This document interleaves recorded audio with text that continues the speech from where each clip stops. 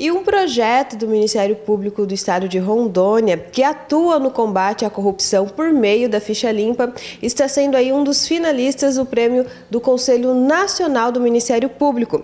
Esse projeto ele foi desenvolvido pelo Centro de Apoio Operacional da Defesa do Patrimônio Público e da Probidade Administrativa, no qual a diretora é a promotora, a doutora Joyce Mota, que vai estar falando um pouco sobre o projeto, que é o projeto LIMP.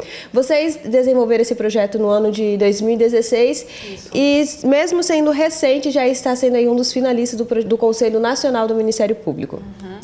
É, o Conselho Nacional, felizmente, reconheceu essa iniciativa do nosso Ministério Público do Estado de Rondônia como uma ação é, de alcance social, de efetividade e positiva para a sociedade, uma vez que promove uma ação preventiva de combate à corrupção, né? evitando que pessoas que têm condenações criminais ou que têm condenações por atos de improbidade administrativa façam parte dos quadros é, do, de servidores dos nossos entes públicos municipais. Sim, e aqui na região do Vale do Jamari, esse projeto aí já teve algumas ações, no qual é, dois servidores do município de Machadinho do Oeste e também um vereador aqui do município de Ariquemes foram afastados aí dos seus cargos devido a esse projeto LIMP. Isso. A, o projeto, na verdade, ele tem duas, duas frentes de ação. Um, numa primeira ação, o promotor ele fomenta na comunidade, atua é, em, né, em, em cooperação com o Poder Executivo e com o Poder Legislativo e apresenta uma proposta legislativa para que se aprove uma lei de ficha limpa municipal.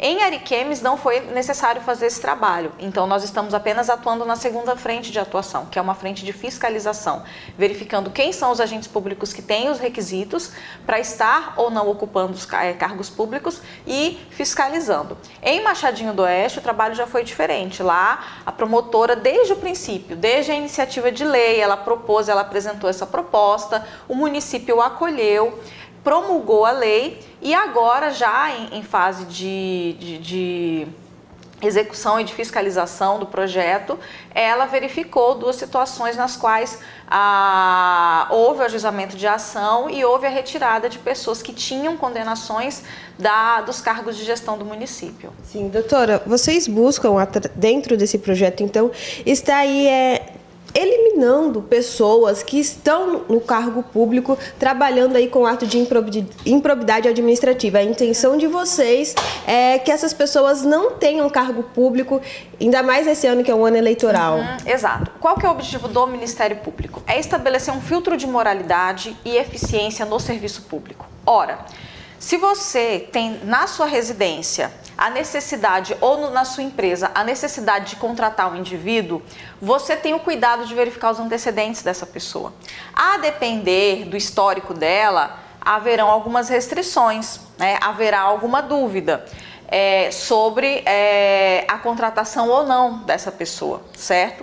No serviço público não havia nenhum filtro dessa natureza para cargos comissionados, embora para servidores públicos efetivos houvesse essa conferência.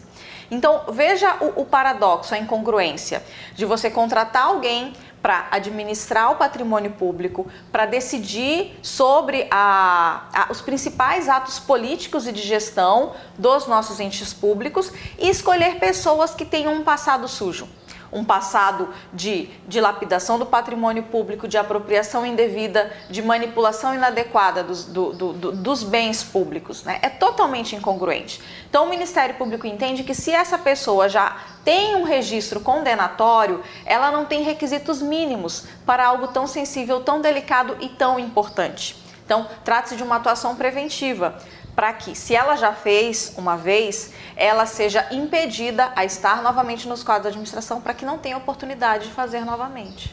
Excelente. Doutora, eu quero parabenizar então a vocês Agradeço. aqui do Ministério Público de Rondônia por ser o finalista e representar a nível nacional o Ministério uhum. Público aqui do Estado. E como estamos em um ano eleitoral, qual a mensagem que você deixa aos nossos telespectadores? Bom, é, eu não sou promotora eleitoral, Sim. Mas o pleito eleitoral, ele é a base, né? ele é o primeiro passo para que nós tenhamos é, ações mais limpas, ações mais probas. a escolha uh, do, do candidato que vai decidir sobre a, a vida de todos nós, ela é um dos atos mais importantes do cidadão. E o segundo ato é fiscalizar, né, acompanhar. A minha sugestão é que as pessoas estudem não só o discurso e as propostas, né? verifiquem se os seus candidatos têm propostas, se são propostas razoáveis e execuíveis, ou seja, se ele não está prometendo absurdos, mas que, sobretudo, conheçam a história né? Saibam quem é essa pessoa. Não é o discurso que fala por si, é a história que fala por si.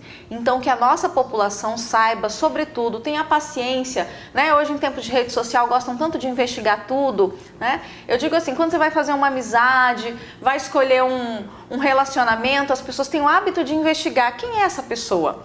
Então, investiguem quem é essa pessoa que quer um ato de confiança de tamanha importância que é o voto. Investiguem a vida do candidato e se a vida dele, a trajetória de vida, registra atos de luta pela comunidade, de uma vida honesta, né, de uma batalha realmente idônea pelo que é do povo, pelo bem comum, aí sim deposite é, esse voto que para nós é tão importante no momento de tanta mudança do nosso país. Excelente, agradeço a sua atenção Eu e a sua dis também. disponibilidade aqui conosco do SBT Ariquemes e esse foi o nosso bate-papo de hoje.